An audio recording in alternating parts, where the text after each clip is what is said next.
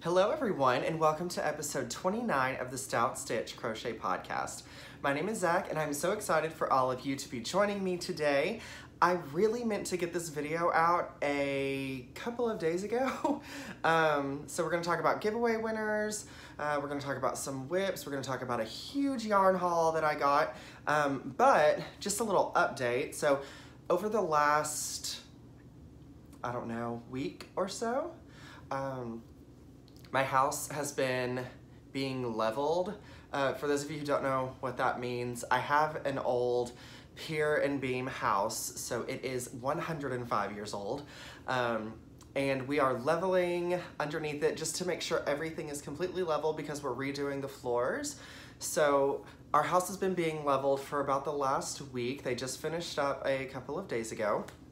And so that took up some of my time from being able to film because everything was going crazy at home. But they finally got that done. So now we should be able to start uh, redoing the floors and changing tile in the next few days. And I'm super excited about it. I've lived in this house for four and a half years. um, and I've been wanting to do the floors or redo the floors for quite a while now. So that's going on. Um, and another reason why I was not able to get this video out sooner, I know my uh, giveaway ended on July 1st, so just a few days ago. Um, let's see, two days ago, today's the 5th, so on the 3rd, I was planning on filming, and I've been sick. I've got, I had food poisoning. So for the past two days, I have been laying in bed all day, taking meds, drinking Gatorade, getting my electrolytes back up, um, trying to get well enough to film this video. So this is the first point over the past couple of days where I felt good enough to actually do this. So thank you for, you know, hanging in there with me and um, waiting it out. Sorry guys, I know that the giveaway ended a few days ago. Um, happy 4th of July to anybody who is watching. Today's actually the 5th, so it was yesterday. Um, and I spent it all day on the couch watching TV, taking medications, all of that fun stuff. Um, Canada Day was a few days ago, so happy Canada Day if I have any Canadians that are watching. Um, so there's that. So let's get into these giveaway winners. So whenever I posted that video a couple of weeks ago, I had seven separate giveaways that we were going to be doing, and here are the winners. So first I have Kathy Garber. Second, I'm gonna butcher this name, but I'm gonna put them all in the description box below. So, um, Arnyshua Scott, I'm not sure, I'm so sorry, so, so sorry. Um, Vickey Smith, Linda Rager, Gayle Brodt, B-R-O-D-T, not sure if that's correct or not, Michelle Page, and Laura Bacon. So I'm going to put all this in the description box. Um, if you heard your name, please send me an email to thestoutstitch at gmail.com with your address so that I can get those prizes delivered to you. Thank you all again for entering. You guys, I had I had over a thousand entries for that giveaway. What like blew my mind. Um, insanity. So thank you all again for taking part in this giveaway. And if you didn't win this one, trust me, there are so many more to come because I love doing giveaways on this channel. Um, also, now that we have entered July, it is my birthday month. Super excited. Um, well, kind of. so it's my last birthday in my 20s. I'm gonna be doing a giveaway for my birthday month as well. More to come in that. I'll have more for uh, the next video so that we can talk about that. But again, congratulations to those seven women. Um, and I will post in the description box below, like I said, all the names, and please make sure that you email me at thestoutstitch at gmail.com. Thank you, thank you, thank you. Um, next, I want to talk about a huge, huge yarn haul that I had probably a week or so ago, maybe, maybe a week and a half ago. Um, so, for those of you who have been watching my channel over the past year and a half, you know that I don't have any craft stores in my town like a Michael's or a Hobby Lobby or um, Joann's or a local yarn shop, like none of that. The only place I have in the town I live in to get yarn at is Walmart. Um, and so I do go and buy yarn from Walmart occasionally whenever I need it. Um, all those other stores that I mentioned before, they're about an hour away from me, so I go I go there occasionally. But I was at work about a week and a half ago, and one of my best friends was at Walmart, and he sent me a text, and he said, "Hey, just wanted to let you know, I just spoke to someone um, up here who told me that they were putting all of their clearance yarn." on sale for 10 cents each. And I was like, wait, what? 10 cents? 10 cents each? Um, and I was a little bit shocked. So luckily, it sounds bad, but luckily I had a cancellation in my schedule. So I had a free hour before lunch. Um, but he told me that and I literally said, okay, I'm about to get in my car and head up there. Um, so I got in my car and I was headed there. I was at the red light before I turned into Walmart and I actually passed him and we were like laughing at each other because I got there from my office so fast. So I went into the store and they had like one of those big like bins, you know, that you see like DVDs in or like their little candy section that they have at front at Walmart, if y'all have been to Walmart before. Um, and they had all this clearance yarn in there and she was putting the 10 cent stickers on there like literally 10 cents per skein. And I was like, why are they getting rid of it for so cheap? Like there was nothing wrong with it. I can, and so she told me that they were adding new yarn to their yarn aisle, like new brands and new colors and new things that were coming in. And so they were getting rid of all the old stuff. Um, and so I was going through while she was marking everything and I was just putting it in my cart and she was like, well, how many of these are you, are you gonna get? And I said, all of them. I didn't even fully know like what was there, but for 10 cents a skein, I could not pass it up. And so she looked at me, she was like, wait, what? Like you want all of them? And I said, yeah, I want all of them. So we just, we counted how many there were. We threw them all into my cart. My entire shopping cart was full. I checked out, y'all, I got 81 skeins of yarn, 81 skeins, and I spent $8.10. It was ridiculous. I messaged my husband. I said, "Oh my God, you're gonna kill me." it wasn't that bad though. He um, he was really excited about it because he said, um, you know, that's actually a really good deal. Um, and so I do do a lot of giveaways on this channel. So a lot of it will probably end up in giveaways. But the biggest, like, I saved over $370. And some of these yarns are not like cheap. Like they had Lion Brand mandalas, which I use all the time. And I honestly, I probably got like, I don't know, 12, 13 of them.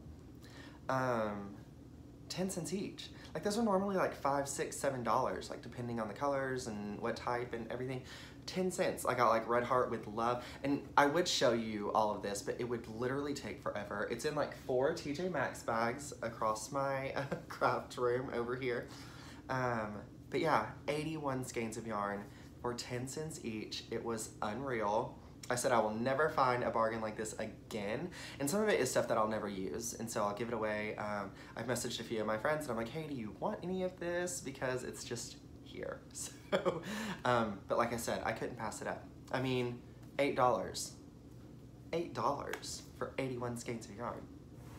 Insanity. Love it. Um, so that was my yarn haul fantastic. I have a couple of works in progress that I'm working on. So let me start.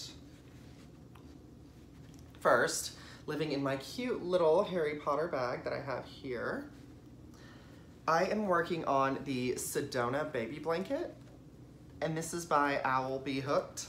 And I'll put a link to her um, Ravelry in the description box below but it is so cute and I'm using, it's a paid pattern so I'm not gonna show you guys, but um, the Sedona Baby Blanket, what it is, is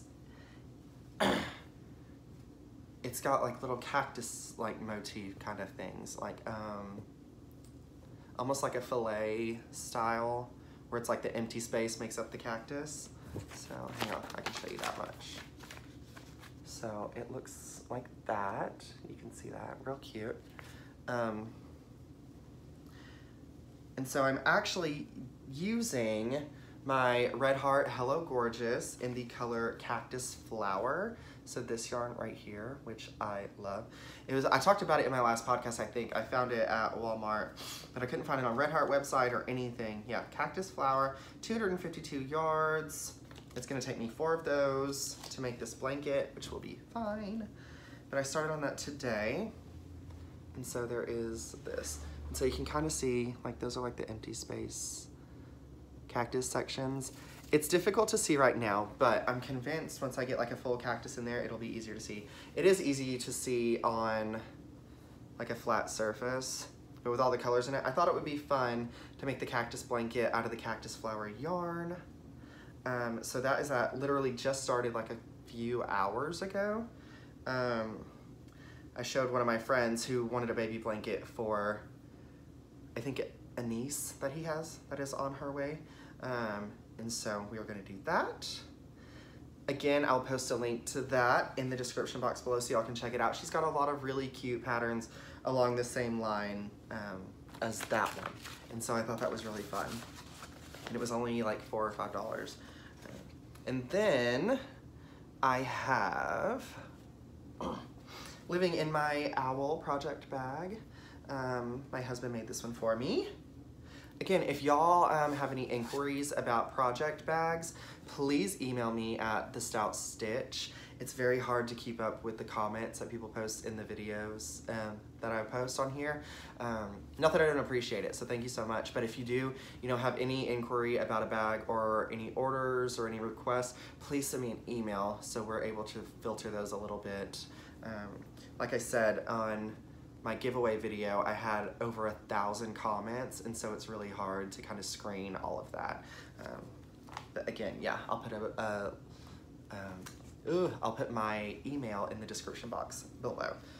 So, then I'm working on just a plain arcade stitch scarf using one of the um, mandalas that I got for 10 whole cents. Uh, so Arcade Stitch, if you've never seen Arcade Stitch, it is that. Pretty, pretty. And so, this will actually be pretty good size. It's not terribly wide, probably like six inches or so. Um, and this is, it had all the yellow and green and stuff in it. I'm really excited about the blue sections because I've been waiting to get to that blue section since I started. It's gonna be amazing. This is in the color Poseidon. Um, it's a Woolies cake. Again, 10 whole cents, you cannot beat it. I don't understand, but I'm not complaining at all. um, it's super soft. This is actually the first Woolies uh, mandala cake that I used. It's 590 yards, just like the other ones. 80% acrylic, 20% wool.